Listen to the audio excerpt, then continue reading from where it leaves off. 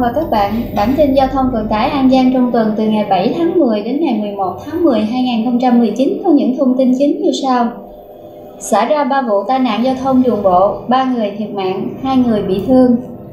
Hạn chế giao thông thủy trên kênh Lấp Vò, Sa Đéc. Hưởng ứng Ngày Pháp luật Việt Nam.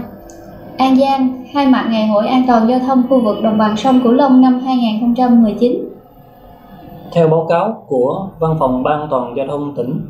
trong tuần qua, trên địa bàn tỉnh đã xảy ra 3 vụ tai nạn giao thông đường bộ nghiêm trọng, làm 3 người thiệt mạng, 2 người bị thương cụ thể. Hồi 18 giờ 30 phút ngày 3 tháng 10, tại thành phố Châu Đốc, xảy ra vụ ô tô tải biển số 67M0125 va chạm với xe đạp chở hai người di chuyển phía trước cùng chiều tại giao điểm đường Nguyễn Tri Phương, Tôn Đức Thắng, La Thành Thân, Lê Lợi thuộc tổ 10, khóm Hòa Bình, phường Vĩnh Mỹ Bình. Tai nạn đã làm một người phụ nữ 47 tuổi thiệt mạng và một trẻ em 11 tuổi đi xe đạp bị thương. Hồi 21 giờ ngày 4 tháng 10 tại km 7 cộng 500 đường tỉnh 948 thuộc tổ 1 ấp Vĩnh Hạ, xã Vĩnh Thành Trung, huyện Tịnh Biên xảy ra vụ va chạm giữa xe mô tô tải và xe mô tô làm một người đàn ông lái xe mô tô 25 tuổi thiệt mạng và người đàn ông điều khiển xe mô tô tải 27 tuổi bị thương nặng. Hồi 20 giờ 20 phút ngày 9 tháng 10, tại Hương Lộ 2, khóm Long Hưng, phường Long Châu, thị xã Tân Châu, xảy ra vụ xe mô tô tông người đi bộ ngang đường là một người đàn ông đi bộ 78 tuổi tử vong. Công an đang xác minh làm rõ các vụ tai nạn giao thông nghiêm trọng. Nguồn tin Ban an toàn giao thông cho hay, vào đêm 10 tháng 10, đội tuyển bóng đá Việt Nam thi đấu vòng loại World Cup với đội tuyển Malaysia. Một số thanh thiếu niên lợi dụng tập trung thành nhóm điều khiển xe gây mất trật tự giao thông trên tuyến quốc lộ 91 và đường tỉnh 941. Lực lượng cảnh sát giao thông và lực lượng cảnh sát giao thông đã chủ động triển khai thực hiện các kế hoạch kiểm soát nên tình hình ùn tắc giao thông và đua xe trái phép không xảy ra. Chi cục Đường thủy nội địa phía Nam thông báo cấm luồng giao thông thủy tại km 34 470 kênh Lấp Vò Sa Đéc thuộc địa phận xã Vĩnh Thạnh, huyện Lấp Vò, tỉnh Đồng Tháp từ ngày 11 tháng 10 2019 đến ngày 19 tháng 10 2019 để phục vụ thi công lao lấp dầm khoan thông thuyền cầu Vĩnh Thạnh vượt qua kênh Lấp Vò Sa Đéc. Thời gian cấm luồng mỗi ngày như sau. Buổi sáng từ 7 giờ đến 11 giờ, buổi chiều từ 13 giờ đến 17 giờ. Các phương tiện thủy khi lưu thông đến khu vực này phải tuyệt đối tuân thủ theo sự hướng dẫn của hệ thống báo hiệu đường thủy nội địa và lực lượng điều tiết, khống chế, đảm bảo giao thông thủy tại hiện trường. Chủ tịch Ủy ban Nhân dân tỉnh Nguyễn Thanh Bình ngày 7 tháng 10 đã phê duyệt kế hoạch số 618 chỉ đạo tiếp tục thực hiện có hiệu quả các hoạt động hưởng ứng Ngày Pháp luật Việt Nam, góp phần chuyển biến ý thức, tự giác học tập, tìm hiểu pháp luật của mỗi cán bộ, công chức, viên chức, người lao động và nhân dân, đồng thời tạo sức lan tỏa sâu rộng trong đời sống xã hội về tinh thần thượng tôn hiến pháp, pháp luật. Theo đó, các cơ quan, tổ chức nhà nước, các doanh nghiệp địa phương tập trung quán triệt, phổ biến nội dung chính sách, quy định mới, nhất là nội dung các luật đã được Quốc hội thông qua trong năm 2019. Tập trung phổ biến, tuyên truyền các lĩnh vực pháp luật liên quan đến hoạt động sản xuất, kinh doanh, khởi nghiệp, quyền và lợi ích hợp pháp của người dân, doanh nghiệp, lao động, bảo vệ môi trường, bảo đảm vệ sinh, an ninh, an toàn trường học, phòng chống tham nhũng, lãng phí, khiếu nại, tố cáo, phòng chống xâm hại phụ nữ và trẻ em, bạo lực học đường, bạo lực gia đình, tội phạm, các tội phạm xã hội và cháy nổ, bảo đảm trật tự đô thị, an toàn giao thông, an toàn thực phẩm và các vấn đề khác của xã hội được dư luận quan tâm hoặc cần định hướng dư luận xã hội. Phổ biến thông tin về cải cách hành chính, trọng tâm là cải cách thủ tục hành chính, thực hiện đồng bộ các biện pháp đơn giản hóa điều kiện kinh doanh, cải thiện môi trường đầu tư kinh doanh, hoàn thiện pháp luật về đầu tư công, nâng cao chất lượng đào tạo nguồn nhân lực, chính sách người có công, bảo trợ xã hội, đảm bảo an sinh xã hội. góp phần xây dựng chính phủ kỷ cương, liêm chính, hành động, sáng tạo, bứt phá, hiệu quả.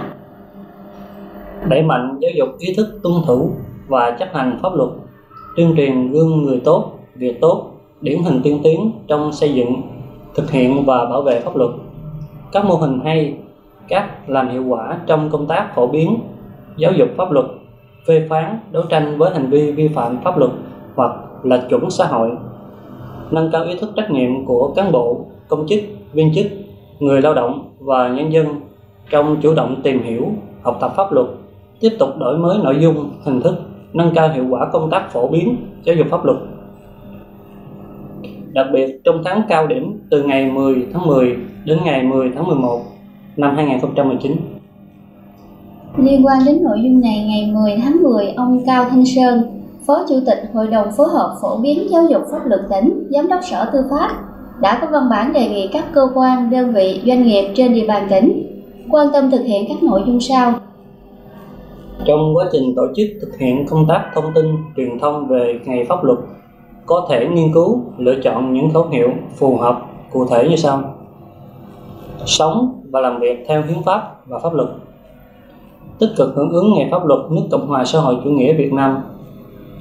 cán bộ, công chức, viên chức gương mẫu, tự giác tuân thủ, chấp hành, bảo vệ hiến pháp và pháp luật. Đẩy mạnh cải cách hành chính, cải cách tư pháp, nâng cao năng lực, hiệu quả, chỉ đạo điều hành và tổ chức thi hành pháp luật. Tìm hiểu, học tập và chấp hành pháp luật là trách nhiệm của mọi người dân. Các cơ quan, đơn vị chủ động lựa chọn hình thức hưởng ứng ngày pháp luật phù hợp, thiết thực, hiệu quả, gắn với thực hiện nhiệm vụ chính trị được giao, chú trọng đổi mới đa dạng các hình thức, hưởng ứng một cách linh hoạt, tiết kiệm và có sức lan tỏa sâu rộng. Đẩy mạnh ứng dụng công nghệ thông tin, tăng cường xã hội hóa trong thực hiện. Các hoạt động hưởng ứng ngày pháp luật cần tổ chức thường xuyên, liên tục trong cả năm, đặc biệt trong tháng cao điểm bắt đầu từ ngày 10 tháng 10 đến ngày 10 tháng 11 2019. Sáng thứ năm, ngày 10 tháng 10, thành phố Long Xuyên, tỉnh An Giang long trọng tổ chức khai mạc Ngày hội an toàn giao thông khu vực đồng bằng sông Cửu Long năm 2019 tại công trường Trưng Nữ Vương trước tượng đài Bắc Tôn Đức Thắng. Ông Khuất Việt Hùng, Phó Chủ tịch chuyên trách Ủy ban An toàn giao thông quốc gia, ông Nguyễn Trọng Thái, Chánh văn phòng Ủy ban An toàn giao thông quốc gia, đại diện Ban An toàn giao thông các tỉnh, thành phố khu vực đồng bằng đã về tham dự. Tại tỉnh An Giang,